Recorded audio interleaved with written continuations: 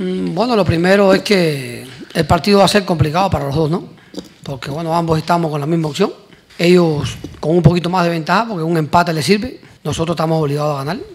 Mm, Vamos a ir todas por todas. Nosotros pensamos que este partido no se va a parecer en nada a que jugamos frente a Estados Unidos y va a ser mucho mejor que que hicimos frente a Panamá. Eso te lo aseguro.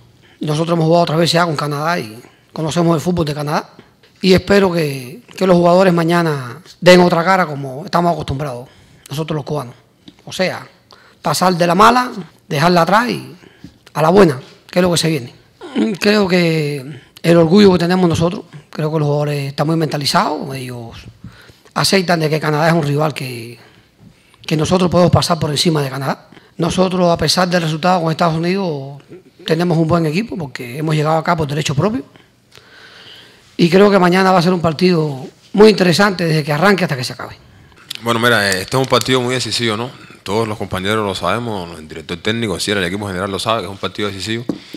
Y como tal lo vamos a jugar. Es un partido donde estamos jugando la permanencia de la competencia y tenemos que hacer borrón y cuenta nueva con el partido de Estados Unidos, con lo que sucedió, y mentalizarnos hacer un buen trabajo contra Canadá, que pienso que sí se puede. Estamos a seguirle a ese rival y va a ser un partido muy importante, muy bonito y muy duro sobre todo. Sencillo. Eh, que confiemos en nosotros mismos, confiemos en los que estamos acá, confiemos en los que estamos dando la cara, ¿no?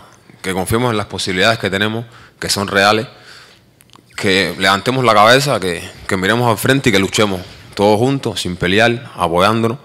Pienso que con eso es suficiente para, para hacer un buen resultado.